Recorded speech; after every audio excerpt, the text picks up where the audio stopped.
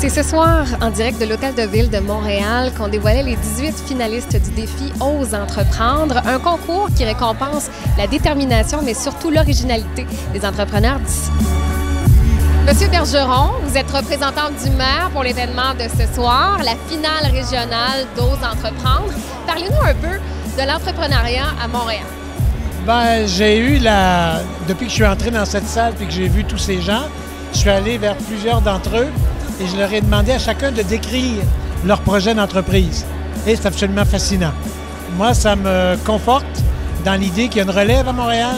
C'est une relève inventive, c'est une relève dynamique, jeune, par définition, là, et ça donne confiance en l'avenir de Montréal. Marc-André Perron de PME Montréal Centre-Ouest. Parlez-moi du défi aux entreprendre. Ben, en fait, le défi aux entreprendre, c'est un défi qui, se déroule partout au Québec. Pour la partie montréalaise, on a rebaptisé en partie le défi PME Montréal. Donc, le réseau PME Montréal a vu à l'organisation des six finales locales et de la finale régionale de Montréal. Et nos gagnants montréalais vont nous représenter au défi aux entreprendre à Québec.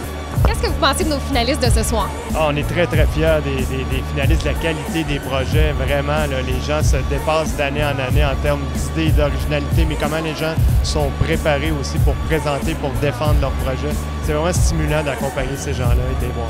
Parle-nous un peu de l'entreprise. Qu'est-ce que vous faites? Alors, Okni Factory, c'est un studio de design sensoriel et on est spécialisé dans l'innovation alimentaire. Qu'est-ce que vous pensez de la scène entrepreneuriale à Montréal? foisonnante, euh, folle, euh, j'aurais beaucoup de qualificatifs. Euh, on est très encouragé aussi à entreprendre. et j'ai vu également sur la scène qu'il y avait beaucoup de femmes qui représentaient l'entrepreneuriat et j'en suis très fière d'en faire partie. Et j'encourage vraiment à se lancer à Montréal parce qu'on est très encadré. Moi qui suis responsable du, centre-ville au comité exécutif, je me dis, j'espère que je vais en récupérer plein et qui vont créer l'économie de demain. Alors, il y a l'économie d'aujourd'hui, il y a celle de demain, et je sens qu'elle est entre bonnes mains quand je vois ce type de salle.